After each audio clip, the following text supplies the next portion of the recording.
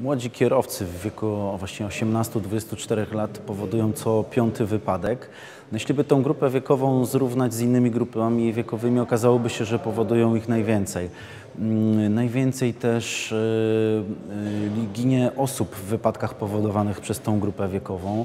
57% zabitych właśnie ginie w wypadkach powodowanych przez młodych y, kierowców. W badaniach przeprowadzonych przez Forda okazało się, że 25% młodych kierowców przyznaje się do robienia selfie, a aż 50% młodych kierowców przyznaje się, że w ogóle robi zdjęcia podczas prowadzenia samochodem.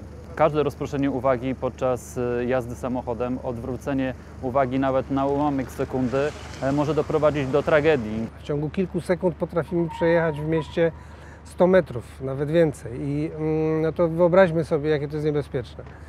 E, tak samo rozmowa przez telefon bez zestawu głośno mówiącego no jest niedozwolona, dobrze o tym wiemy.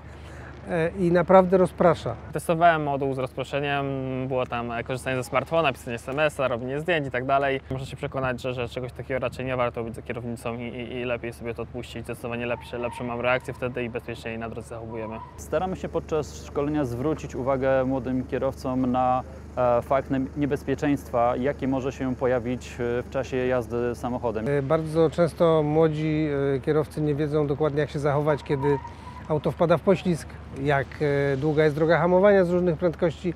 I to wszystko na odpowiednich modułach pokazujemy. Najbardziej emocjonującym modułem był moduł, gdzie wykonywaliśmy jakieś awaryjne hamowanie czy omijanie ze slalomem. No myślę, że dość często spotykamy to na drodze i możemy się z tym w rzeczywistości zmierzyć. Uczą nas, jak zapanować nad pojazdem, czy jak zachować się w jakiejś awaryjnej sytuacji. Shared road, czyli dziel się drogą. Wiemy dobrze, że w całej Europie jest problem między ki- kierowcami samochodów a korzystającymi z rowerów. Próbujemy pokazać w specjalnych takich okularach 3D, jak to, jak to może wyglądać i jak e, powinien i rowerzysta, i kierowca w samochodzie dbać o tą drugą stronę. Instruktorzy mówią nam, jak e, ustawić się w samochodzie, jak skręcać kierownicą, co tak naprawdę wiele osób robi źle. Takie szkolenia są jak najbardziej potrzebne, e, bo też tak naprawdę no, człowiek uczy się sam na swoich błędach.